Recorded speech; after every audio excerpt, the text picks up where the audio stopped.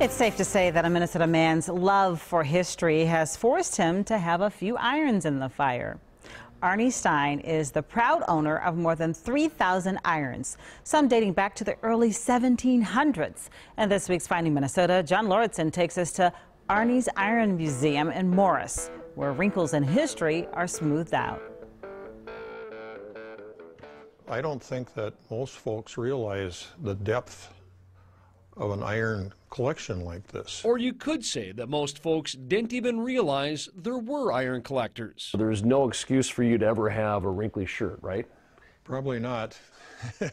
Instead of postage stamps or postcards, Arnie Stein likes a little metal and a little steam. We just found out there were more and more and more. In the early 90s, Arnie and his first wife, Corrine, began collecting antiques, and they noticed they had about a half dozen irons in their collection. That made Arnie think about how much history is contained in a single household item. If an iron could talk, Yes, the stories it would tell. it would tell a lot of them. Maybe there was some that got thrown at a husband or something and, you know, there was a hole in a wall somewhere, you know. I don't know. There are now more than 3,000 stories in Arnie's museum near Morris. It began with a few live auctions. and then eBay came along.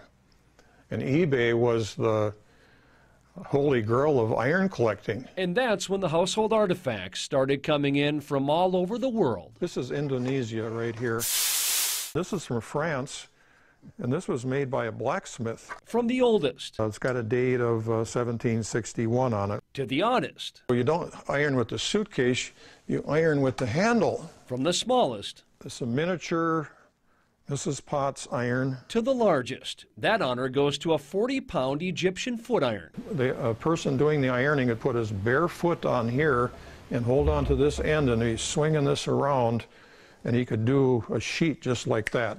A lot of Arnie's irons used to be in storage, but when Corrine passed away in 2009, Arnie built a museum in his backyard as a tribute to her.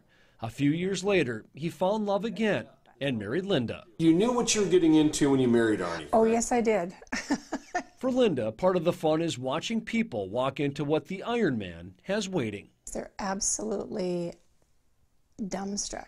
I mean, it's just like, oh, I wasn't expecting this. I had no idea the extent of the irons and the collection that was available. And so it just was this whole different world to see. When he's not entertaining visitors, Arnie spends his time looking for irons that run on coal, kerosene, whale oil, or electricity, and he lets off steam by cataloging his artifacts. It's work, but it's also a passion. And now that he's retired, it's not like he's pressed for time. Who was sold to and how it was passed along to people down the line, whether they were immigrants or from this country, and what that iron had seen in a home. You know, it would be just amazing. Just one iron. There's history, history in just that one piece, you know. John Lauritsen, WCCO 4 News. Arnie is actually part of a group of iron collectors from around the country called the Pressing Iron and Trivet Collectors of America.